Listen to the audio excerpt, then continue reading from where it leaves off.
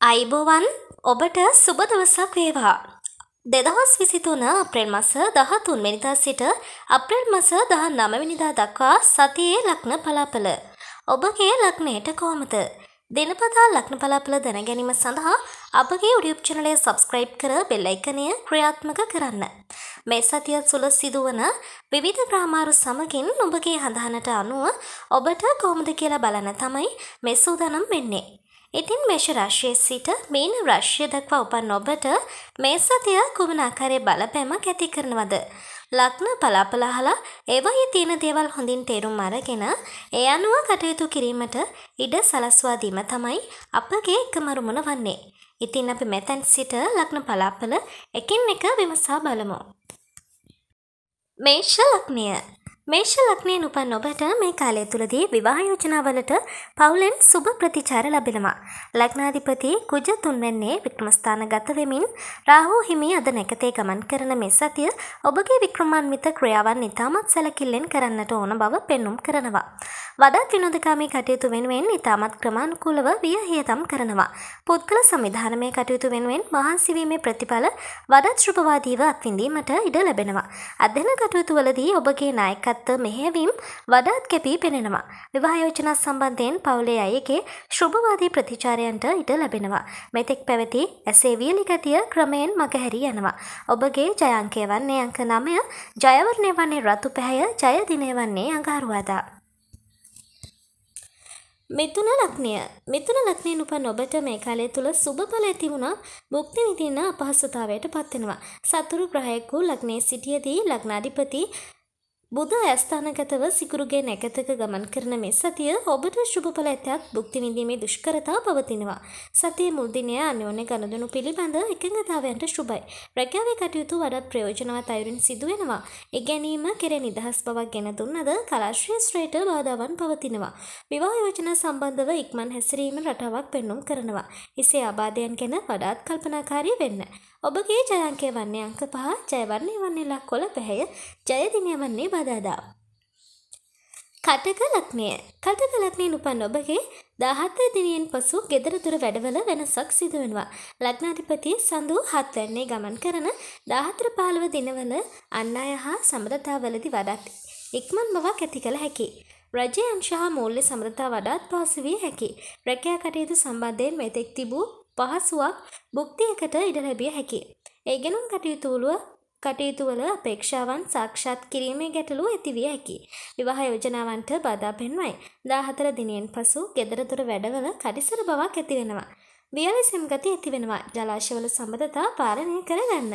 ඔබගේ ජය අංකය වන්නේ අංක 2, ජයවර්ණය වන්නේ සුදු පැහැය, ජය දිනය වන්නේ සඳුදා. සිංහ ලග්නය.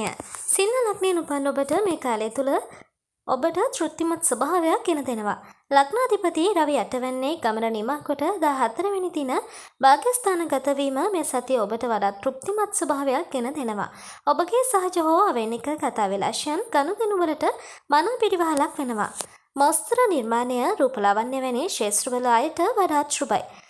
අධ්‍යාපනය මිශ්‍රඵල ගෙන දෙනවා. මුල්ම දිනය නව අධ්‍යාපන කටයුතු ආරම්භයට සුදුසුයි. විවාහ යෝජනා සම්බන්ධව මතුවිය හැකි ගැටලු හෝ අවහිරතා දරා සිටීමේ හැකියාව ඇති වෙනවා. 14 15 දිනවල සෙම් සහිත බව ගැන වඩාත් කල්පනාකාරී වෙන්න. ඔබගේ ජය අංකය වන්නේ අංක 1, ජය වර්ණය වන්නේ තඹ පැහැය, ජය දිනය වන්නේ ඉරිදා. කන්‍යා ලග්නය කන්‍යා ලග්නයෙන් උපන් ඔබට 14 වෙනි දිනයෙන් පසු විවාහ යෝජනාවලට ශුභයි. ලග්නාධිපති බුධ අටවැන්නේ සිකුරුගේ නැකතක ගමන් කරමින් සිටියදී සිකුරු තම රාශියම බලවත්ව ගමනක යෙදෙනවා.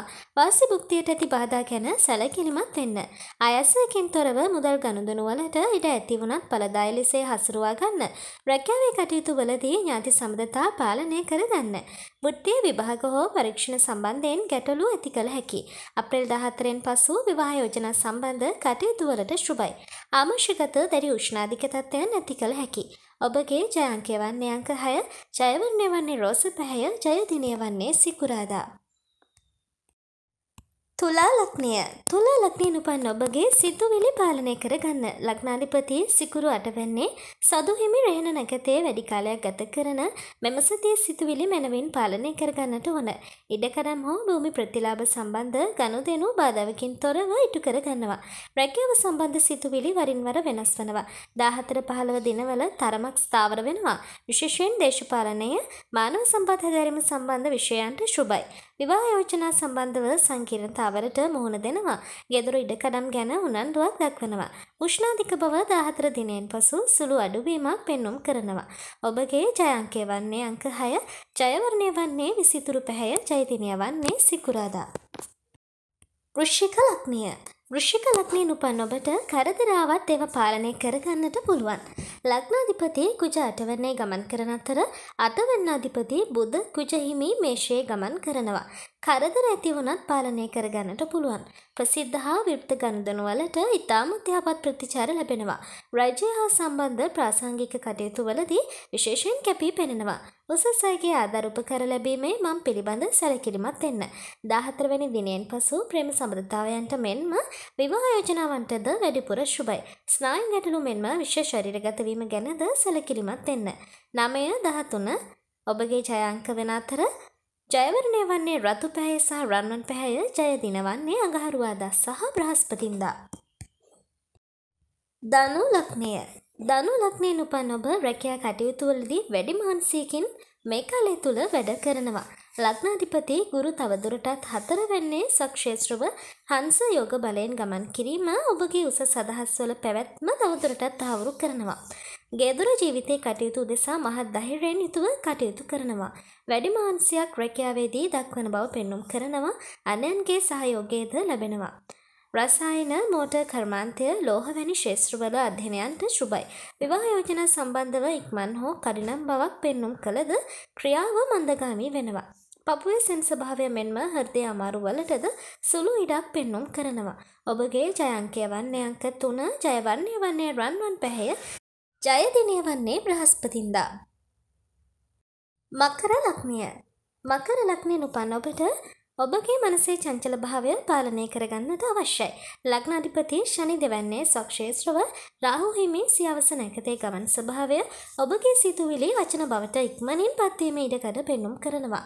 මෙලමුදල් සංසරණය පිළිබඳව එතරම් උනන්දුවක් පෙන්වන්නේ නැහැ. රැකියාවෙන් ලබන ප්‍රතිලාභ වෙනුවෙන් වැඩි උනන්දුවක් දක්වනවා.